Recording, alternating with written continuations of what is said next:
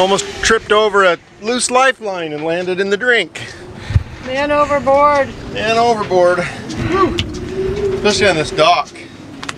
I know with the camera moving you can't see it moving, but it's moving.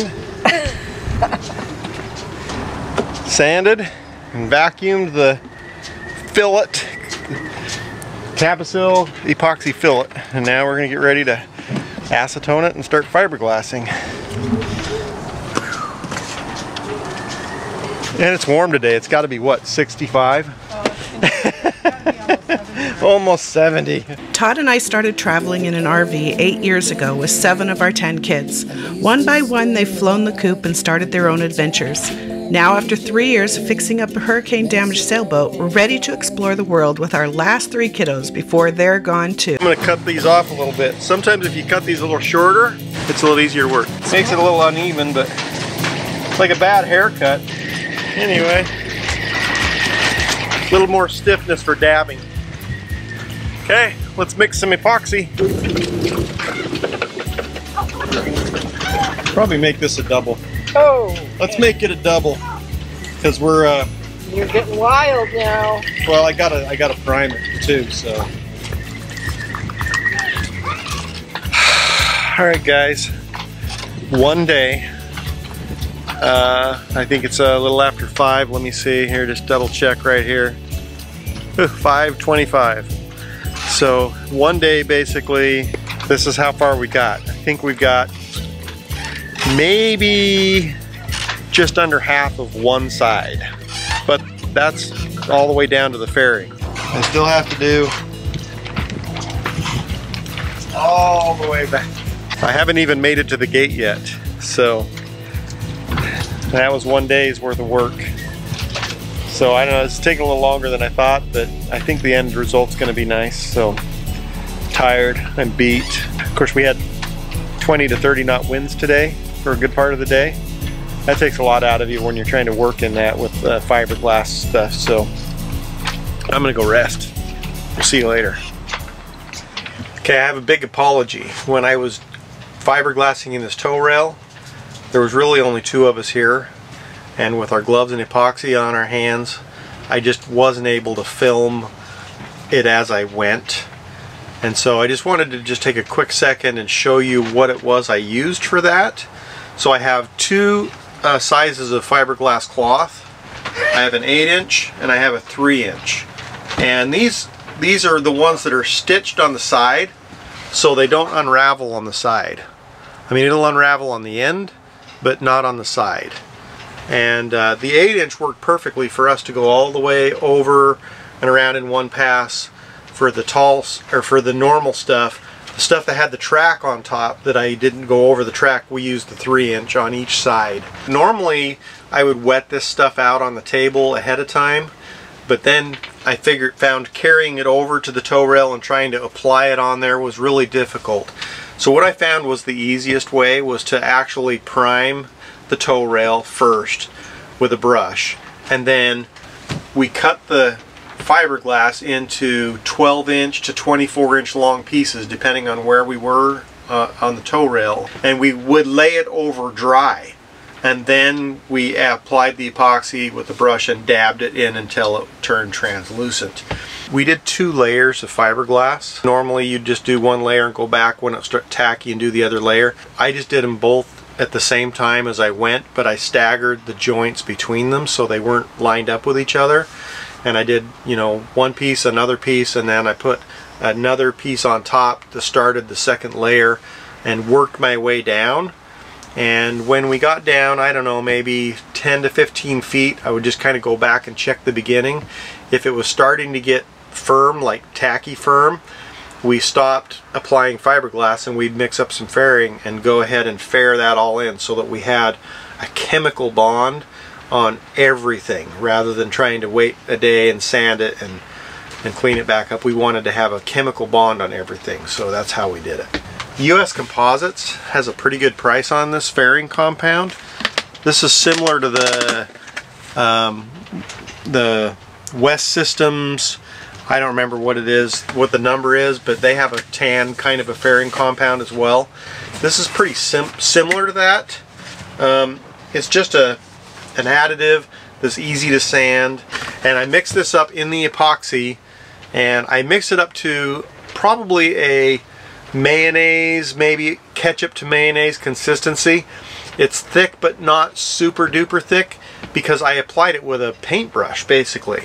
And just by dipping it in and painting it on and it actually worked out really really well and it it had good coverage it went into the cracks really easy and you could just brush it out fairly nice and it made it a lot easier to sand when I was done so those are the kind of the things that we used with this as well as our West System epoxy While Todd and Gabe were working hard, I took the girls, a grandson, and a gaggle of cousins to the fun center to escape the winter weather. You girls were. It said it said free for all, but these all the girls were teaming up on us. Wrong.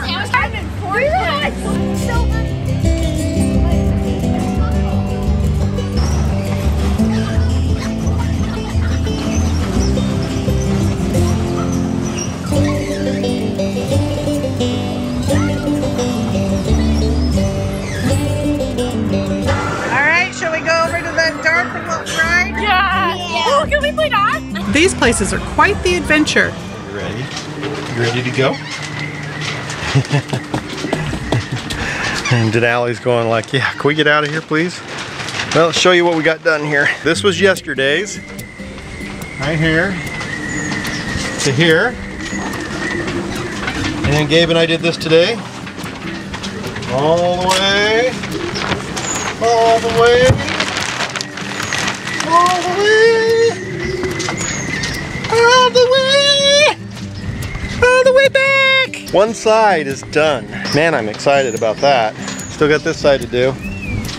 It's partially prepped but not all the way. We do have some wind blowing. We got our pirate country up. But nice blue skies.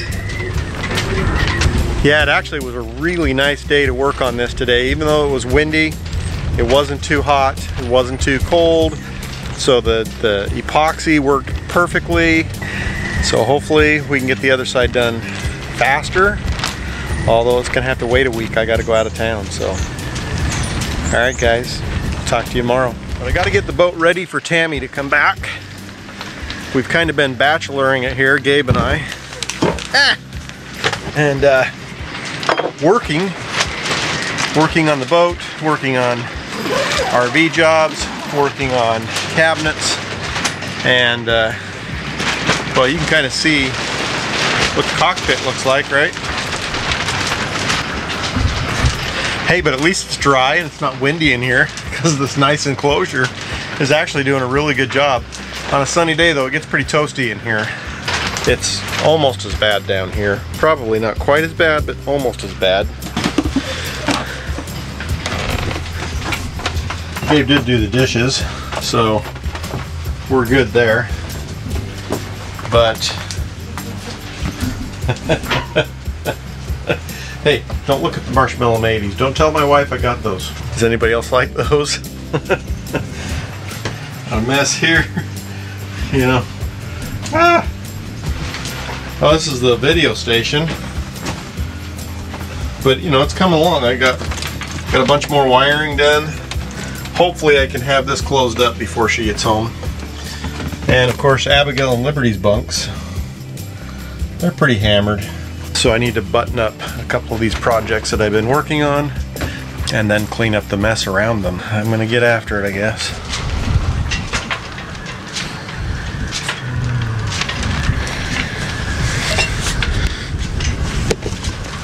Well, let's see here. This is what it's like. Oh, dark 30. What is it? It's about 3 3:40 a.m. Headed off to an RV armor job up by Houston. Got to be there by 7 in the morning. So means we got to get up dang early. Oh well. That's life right now. So I'm headed out. Gotta keep an eye on the road, so that's why I'm not looking at you.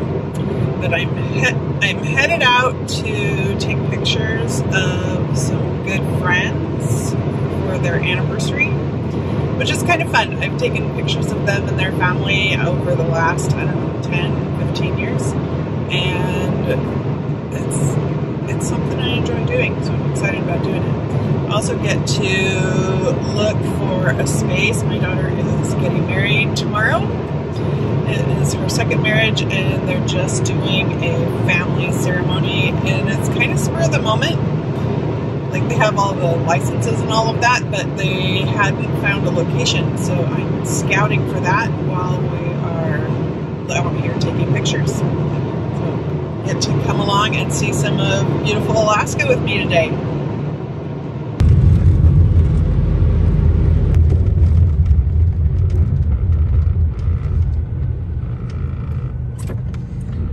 Looks like a lot of snow over here.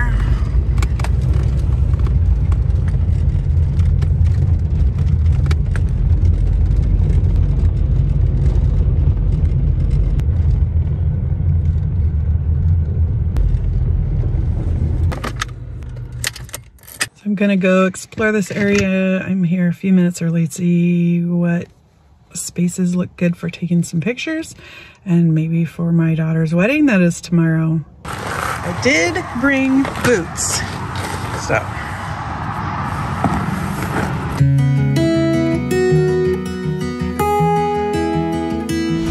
All right, everybody. Back from the RV trip. Trailer secured. And it's a whopping 36 degrees here. And uh, uh, wind's blowing, but not as bad as it was last night. But man, it's cold. Feels like Alaska. Man. Well, let's see if we can get some work done today. All right, today is the day where I have to get the boat ready for Tammy to come home. She's coming home tomorrow. All right, I don't know how this works, but let's try it.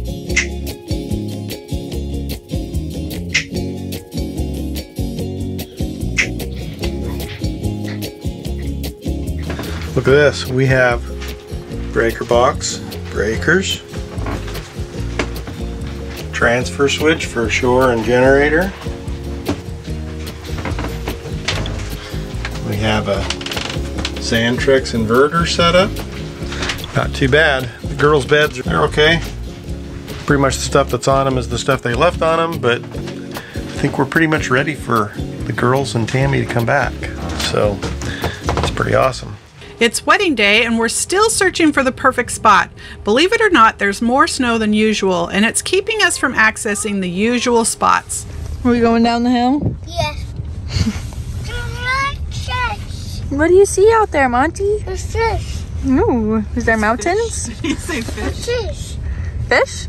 Oh, trees. Is there trees? Yeah, I see trees too. He sounds like he's saying fish. I see trees on the mountain. You see trees on the mountain? Yeah. Lots of snow. This beautiful place is Hatcher's Pass. There's tons of activities year round up here. Used to be like it was used this all used to be a gravel road and this was a one lane to get around this corner. They had to like blast out the edge of that mountain to make it two lanes. Right. There was too much snow to get off the road up here, so we thought we'd go down and try the old Knik River Bridge. Where are we going, Monty Man? To the water to find fish. To the water to find fish.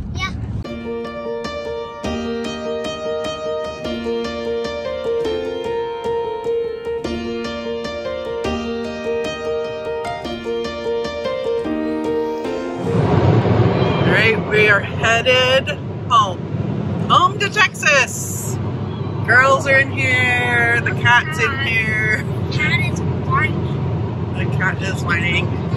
Katie is taking us to the airport, and we have a midnight flight. We leave at midnight, and we don't get into Texas until 3 o'clock in the afternoon. And there's the kitty kitty.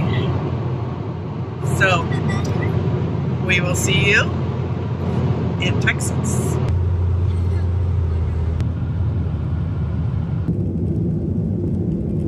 Okay, it's a glorious morning in multiple ways. I mean, it's supposed to be 74 degrees here today, which is wonderful, awesome.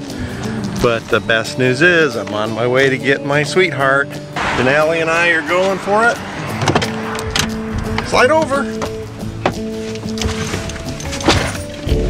Are you ready to go? Let's go get them. well, they're here and we're pulling up.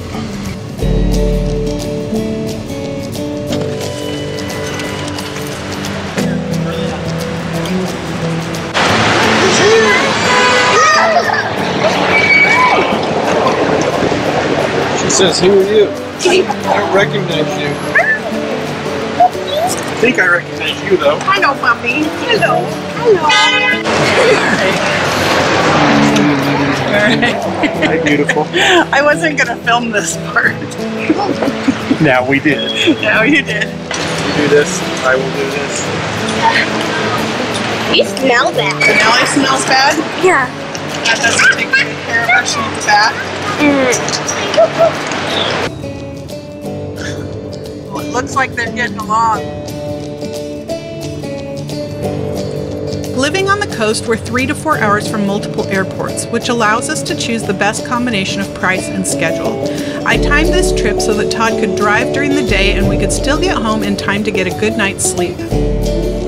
While I've only been away a couple of episodes, in real time it's been nearly six weeks. I am thrilled to be back home with my best friend. Texas and Alaska have a lot in common, and I find that my heart has come to appreciate the differences in the beauty that they both have to offer. Kitty, kitty, kitty, kitty, kitty.